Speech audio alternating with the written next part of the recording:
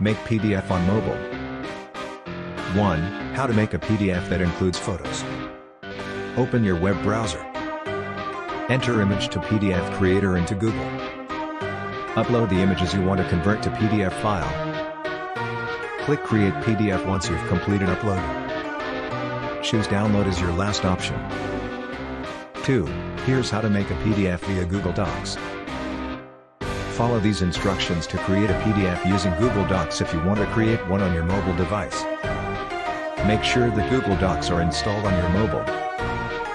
You can then upload the Word or Excel files on the Docs. Firstly upload these files on Google Drive.